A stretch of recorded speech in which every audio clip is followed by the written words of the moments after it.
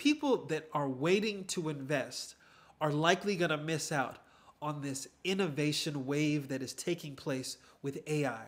So many companies like Nvidia, Microsoft, Google, Amazon, name the technology company, they are incorporating artificial intelligence into their operations. Now, this sets up to be one of the most innovative periods in the stock market that we have seen in a very long time. And so, for anyone that is not investing right now, they may be missing out on the opportunity to be at the forefront of new technology and new wealth building opportunities. The next reason is that investing in the stock market provides for a hedge against inflation.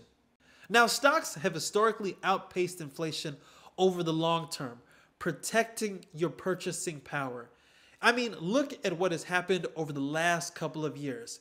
Anyone that has not been investing in the stock market, that has had their money sitting in a savings account, has lost a lot of value in that money, in large part due to inflation.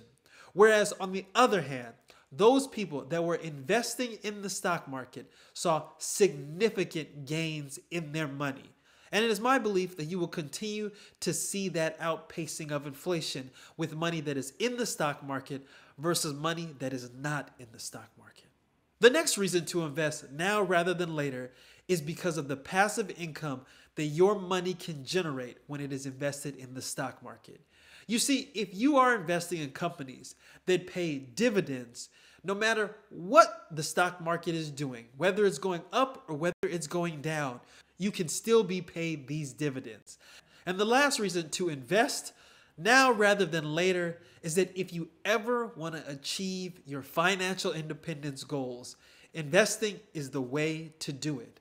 You see, you cannot save your way to financial independence. You need the compounding